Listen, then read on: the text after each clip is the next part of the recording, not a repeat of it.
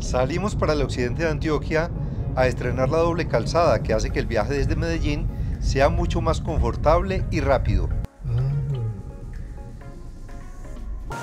Este es el Parque de Santa Fe de Antioquia, uno de los sitios turísticos más importantes, no solo en el departamento, sino también en todo el país. Y yo siempre había querido descubrir el misterio que hay detrás de esa casa. Hoy me averiguo que fue una casa donde habitaron los primeros gobernadores y que hoy es un hotel. Les invito a que me acompañen para que lo conozcamos. Esta es la placa que está en la entrada y que cuenta los nombres de esos primeros gobernantes. Hagamos el ingreso para conocer su interior y mirar cuáles son sus principales atractivos. Vengan, vengan. Los principales atractivos que tenemos en este hotel, tenemos lo que es el Solar Room, que es donde quedan los dos jacuzzis con vista hacia las montañas y un hermoso atardecer después de las 6 de la tarde. Y sí que nos atrajo la buena atención. Nos quedamos todo el puente festivo para disfrutar del lugar y además de su gastronomía.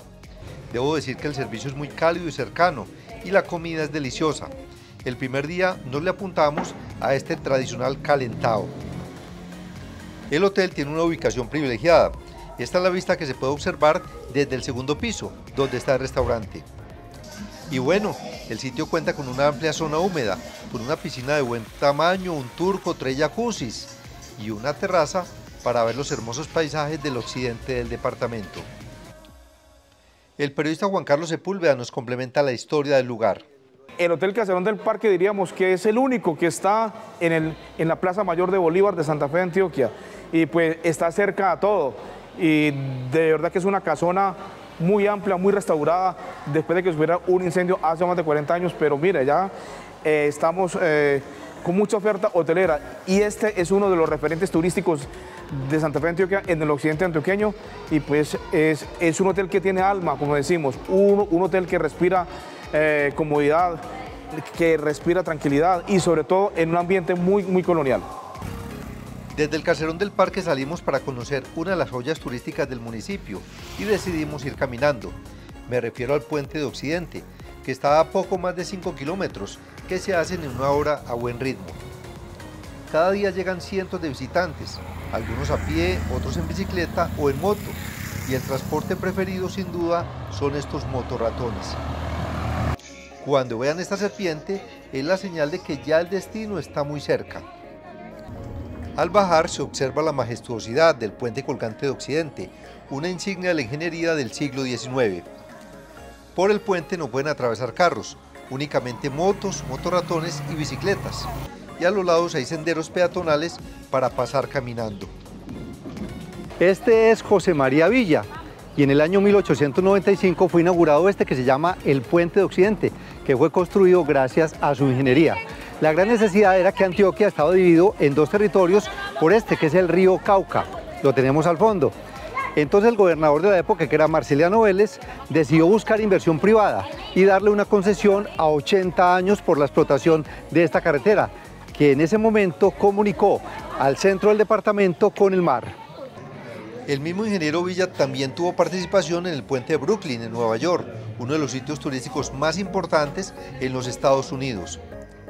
Miren lo que nos cuenta Adrián Baos, gerente de Tour Antioquia.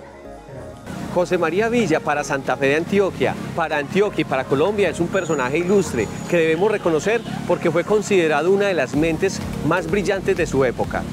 El ingeniero que fue posible cruzar el río Cauca a través de los puentes que hizo y el puente de Occidente es su obra monumental que todavía sigue en pie.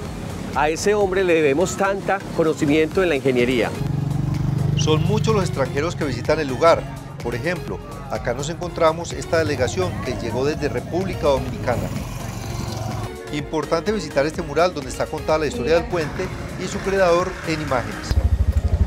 El regreso hacia Santa Fe de Antioquia fue en moto ratón.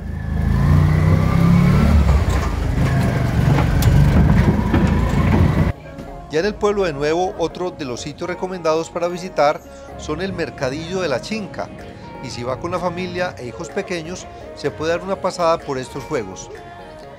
También vale la pena parar un rato en la calle, para disfrutar de algunos artistas locales y otros foráneos.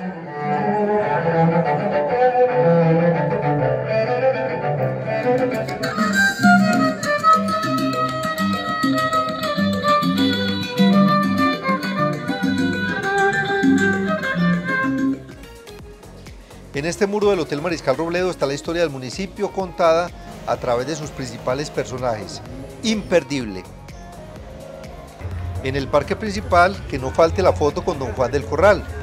Ahí, a unos pasos, está el mercadillo de Monseñor Toro.